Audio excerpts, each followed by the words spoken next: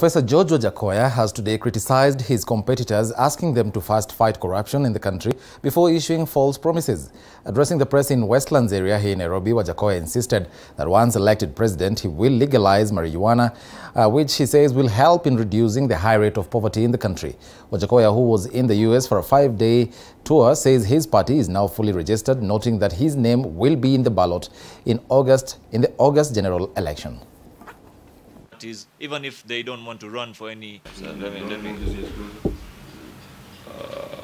I am very grateful today to have this opportunity, especially after traveling for 32 hours. I just arrived from the US, where I had been uh, called by the United States government to address issues pertaining to this election.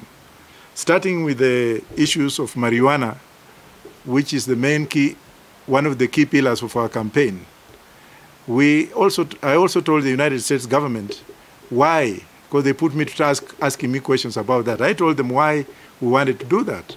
And also, one thing that I raised is that the Chinese economic policy is very hidden. It does not tell us what they want to do for us, whereas the constitution in this country says that we, it, it ought to be inclusive for popular participation.